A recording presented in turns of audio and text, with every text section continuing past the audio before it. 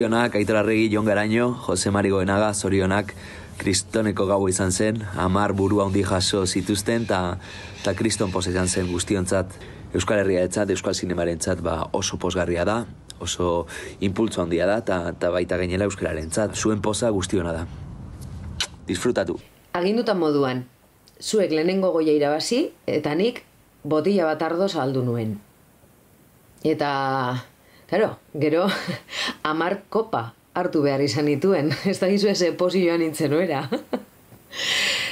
Sorionak, esan dotzuet, Elena Obe, eta barriro besango tzuet, bihotz, bihotzetik, merezita daukazue onenak zaretelako.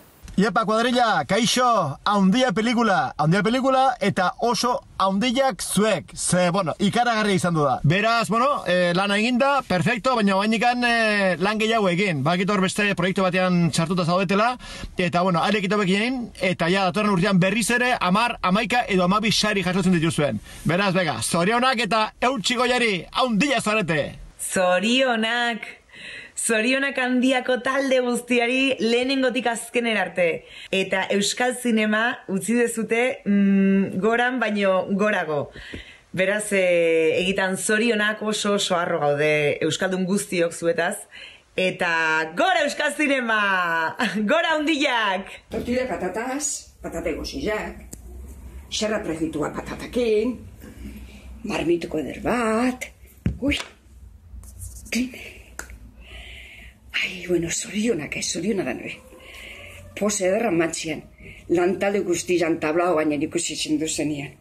Eta gaine, por zirto, zi guapo zinagatene, etragiak zoragarriak, ben pajarita eta pajarita eta guzti. Bueno, ba, zoriona da noe, amarna musu da noe, eta, beste bat arte, klik.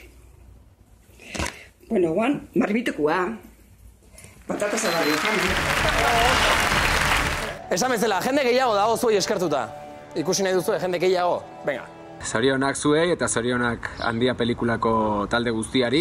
Besterik gabe esatea handiak zaretela eta gaina asko gustatu zitzaidan. Handiak zaretelako handikeririk gabe.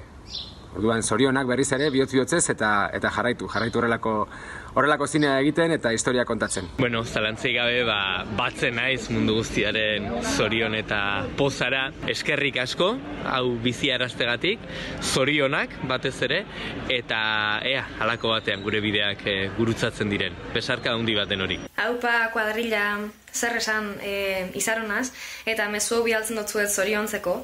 Zari bako txak erakusten dabelako ba, lan talde positibo bat egon dela, lan talde on bat egon dela, benetan bakarkako zariak sortu da bezena, eta hori oso garrantzitsue da. Eta dan hori, ba, indar pilo bat, osasun pilo bat, eta jarraitu golantxik, sorionak. Eh, peña, uh, sorionak, eh, joder, petagon jozu, eh, sorionak benetan, euskal personaje bategaz, Olako exito egite, jode, iruditzen diat, brutala. Sorionak lenguan galan euskara zekiarren eta guri be transmititzen saiatu zinelako hori euskal puntu hori eta beretan, beretan, betiko betiko asuntua.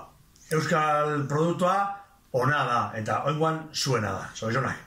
Zorionak kuadrilla, baina ez bakarrik ere bat dituzuen amargoia sari hauengatik baizik eta egin duzuen lan guztiaren gatik segulako pelikulak eman dizkiguzue, historia derra kontatu dizkiguzue, eta gainera gure hizkuntza eta gure kultura mundura zabaldu duzue.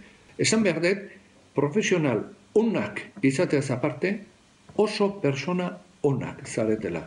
Hemen, zorion egile horren atarian, bere etxean, zorionak, Zorionak lantalde osoari eh, ez dakit kantatu behar dugun.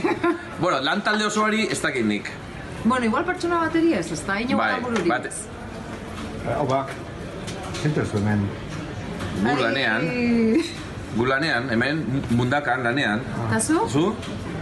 Segi, segi, segi, segi. Vale, aio. Ba hori, sorionak, handiaz. Bueno, oso sorion egin gaitu zuela, eh? Oso posti gaude.